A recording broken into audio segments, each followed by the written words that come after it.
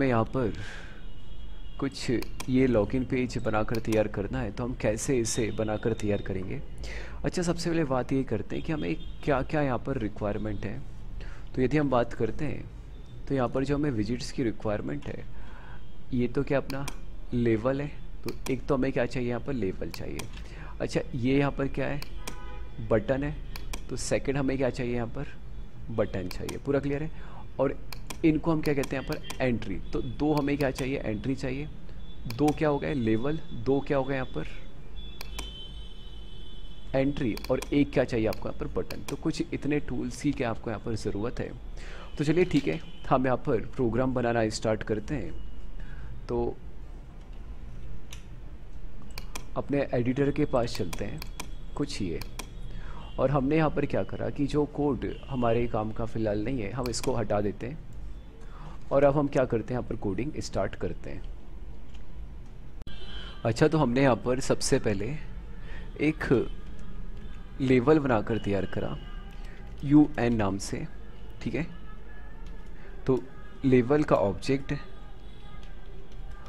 और हमने क्या करा कि यहाँ पर लिखा रूट कॉमा टेक्स्ट हमने यहाँ पर सेट कर दिया इक्वल टू डबल कोड में एंटर नेम और फिर इतना होने के बाद हमने क्या करा कि फॉन्ट का साइज़ भी हम यहाँ पर सेट कर देते हैं। फॉन्ट इक्वल टू जो हम यहाँ पर टाइप सेट कर रहे हैं एरियल कॉमा ट्वेंटी और एक काम करते हैं विंडो का साइज़ हम यहाँ पर 500 हंड्रेड बाई फाइव रखने वाले हैं। और हमने यू एन को क्या कर दिया? पैक कर दिया। ठीक है? अच्छा अभी इस एग्ज़ाम्पल को हमने रन करा यहाँ पर। तो इस कंडीशन पर जो हमारा विंडो है, इस पर एंटर नेम नाम का लेवल आकर क्या हो गया? डिस्प्ले हो गया है। अब हमने क्या करना है कि देखो, कि यदि हम बात करते हैं तो इसके बाद हमें क्या चाहिए? एक यहाँ पर एंट्री फ़ील्ड चाहिए। तो हमने क्या करा? इसके जस्ट नीचे हमने लिखा यहाँ पर। एक ऑब्जेक्ट बनाकर तैयार करा एंट्री का ईवन नाम से। और same root comma text equal to double code में। अच्छा टेक्स्ट की यहाँ ज़रूरत नहीं तो इसको हम क्या करते हैं, यहाँ से हटा देते हैं, ठीक है? और हमने यहाँ पर लिखा same font equal to double code में। एरियल और टू ज़ीरो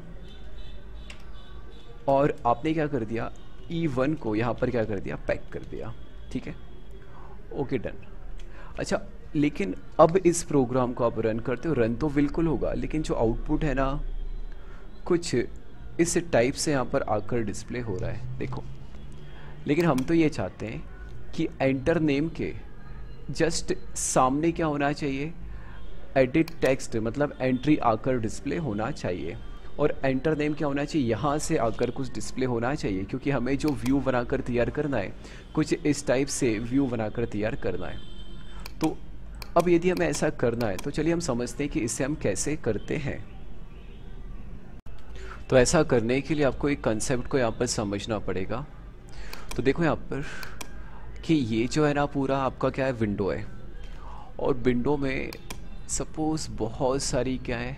रो है। एक रो, दो रो, तीन, चार। ठीक है, ऐसी काफ़ी सारी क्या है रो। ऐसी क्या है? काफ़ी सारे यहाँ पर कॉलम्स भी है। ठीक है? कुछ ये। अच्छा। पॉइंट यहाँ पर ये समझाना है आपको कि ये जो है ना रो नंबर क्या कहलाएगा? Zero one two three four और ये जो कॉलम नंबर क्या कहलाएगा? ज़ीरो वन टू इस टाइप से। अब बात ये आती है कि कितनी रो होंगी, कितने कॉलम होंगे तो देखो, होता क्या है कि सपोज़ जो आप यहाँ पर कंपोनेंट ड्रॉ कर रहे हो तो इसका साइज़ इतना है तो यहाँ पर दो ही कंपोनेंट ड्रॉ हुए तो सीधी सी बात है कि यहाँ पर दो ही कॉलम बनकर तैयार होंगे।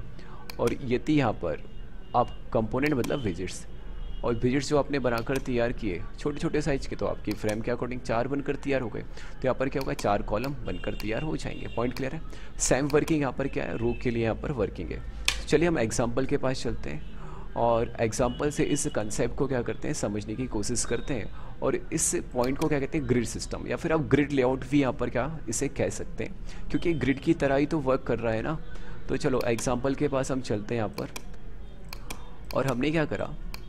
कि जैसे हम यहाँ पर पैक का यूज़ करते हैं ना तो वैसे ही हम यहाँ पर क्या कर सकते हैं? ग्रिड का भी यूज़ कर सकते हैं। तो हमें जो सबसे पहला विज़िट ड्रॉ करना है, देखो जो हमें आउटपुट ऐसा बनाकर तैयार करना है तो इसके लिए सबसे पहला विज़िट जो हमें ड्रॉ करना है, कहाँ पर रखना है? यहाँ पर मतलब रो नंबर ज़ीरो और कॉलम नंबर ज़ीरो अच्छा ये तो क्लियर है ना कि जितना आप यहाँ पर विज़िट पुट करोगे, उतने कॉलम बनकर तैयार होंगे, उसके साइज़ के अकॉर्डिंग और आपकी विंडो के साइज़ के अकॉर्डिंग पूरा क्लियर है? यदि विंडो यहाँ पर चार कॉलम बना सकता है, यदि आपके विज़िट क्या है? छोटे छोटे यदि आपके विज़िट बड़े होंगे तो हो सकता है दो ही कॉलम आपके यहाँ पर बनकर तैयार हो।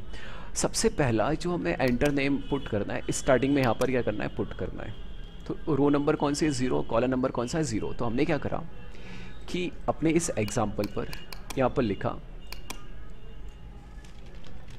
ग्रिड और यहाँ पर लिख दिया आपने रो इक्वल टू क्या पुट करना है आपको? ज़ीरो और कॉलम इक्वल टू क्या पुट करना है यहाँ पर? ज़ीरो अच्छा उसके जस्ट आगे क्या पुट करना है आपको? एंट्री फ़ील्ड तो हमने क्या करा कि इसके लिए यहाँ पर लिख दिया G R I D grid और सेम रो इक्वल टू कौन सी होगी? ज़ीरो? आता है सबको समझ में कि हमें पुट कहाँ पर करना है? इस जगह पर तो रो तो ज़ीरो चले लेकिन कॉलम क्या हो जाएगा? वन तो ऐसा करने के लिए हमने क्या करा कि यहाँ पर लिखा row equal to zero column equal to one इतना कंसेप्ट क्लियर है सभी को? तो अब हम अपने इस एग्ज़ाम्पल को क्या करते हैं? रन करके चेक करते हैं। अच्छा सभी को ये तो पता है कि पहला वाला आउटपुट क्या था? कुछ ऐसा आकर डिस्प्ले हो रहा था। और यदि हमने अब इस एग्ज़ाम्पल को यहाँ पर क्या करा? रन करा। कंसेप्ट ध्यान से समझना। तो अब बिल्कुल कुछ ऐसा आउटपुट आकर क्या हो गया? यहाँ पर डिस्प्ले हो गया है। तो इतना कंसेप्ट सभी को यहाँ पर क्या होना चाहिए? समझ आ जाना चाहिए। क्लियर है सारे के सारे पॉइंट तो कैसे हमने यहाँ पर इसे सेट किया हुआ है? तो अब सभी को करना क्या है? यदि इतना पॉइंट क्लियर है ना तो सभी को अब पूरा लॉगिन पेज बनाने की कोशिश करना है कि आप लॉगिन पेज कैसे बनाकर क्या करेंगे, यहाँ पर तैयार करेंगे। अच्छा यहाँ पर एक पॉइंट और कि देखो, जो आपका यहाँ पर मैसेज आकर डिस्प्ले हो रहा है एंटर नेम बिल्कुल ऊपर से बॉर्डर से बिल्कुल पास में ही आकर क्या हो रहा है डिस्प्ले हो रहा है। लेकिन जो हमें व्यू बनाकर तैयार करना देखो, ऊपर से काफ़ी कुछ नीचे आकर डिस्प्ले हो रहा है, दिख रहा है यहाँ पर। तो ऐसा करने के लिए पॉइंट यहाँ पर समझना ध्यान से। हम चाहते हैं कि ये जो बॉर्डर से थोड़ा नीचे आकर क्या होना चाहिए डिस्प्ले होना चाहिए। तो हमने क्या करा कि ये जो है ना ग्रिड कॉमा लिखा हमने, और पैटिंग ऊपर से मतलब बाय डायरेक्शन में, हमने बोल दिया सपोज़ 25 तो अभी इस कंडीशन में जो आपका ये वाला है ना लेवल ऊपर से उतना नीचे क्या होगा शिफ्ट हो जाएगा। देखो, पहले तो ऐसा आउटपुट था, अब हम इसे क्या करते हैं, यहाँ पर रन करते हैं। तो यहाँ पर देखो, ऊपर से देखो, यहाँ पर नीचे आकर क्या हो गया है? शिफ्ट हो गया है। तो इस तरीके से बिल्कुल आप क्या कर सकते हैं, उसे यहाँ पर शिफ्ट कर सकते हैं। पॉइंट क्लियर है यहाँ पर कंसेप्ट सभी को? ठीक है। और यदि आप इसमें अप्लाई करना चाहते हैं तो कर दीजिए। हालाँकि कोई दिक्कत नहीं, क्योंकि एक ही रो में कंटेंट सेट हो रहा है, इसलिए बिल्कुल वो प्रॉपर जाकर वहाँ पर सेट हो गया है। तो आउटपुट की यदि आप बात करते हो तो ऐसा आउटपुट है। और यदि आप अभी भी रन करते हो तो बिल्कुल वैसा ही आउटपुट आकर क्या होगा? यहाँ पर डिस्प्ले होगा, क्योंकि उसी रो में कंटेंट जाकर क्या हो रहा है? सेट हो रहा है. पॉइंट क्लियर है? ठीक है. अब सभी को क्या करना है? लॉगिन पेज बनाना है.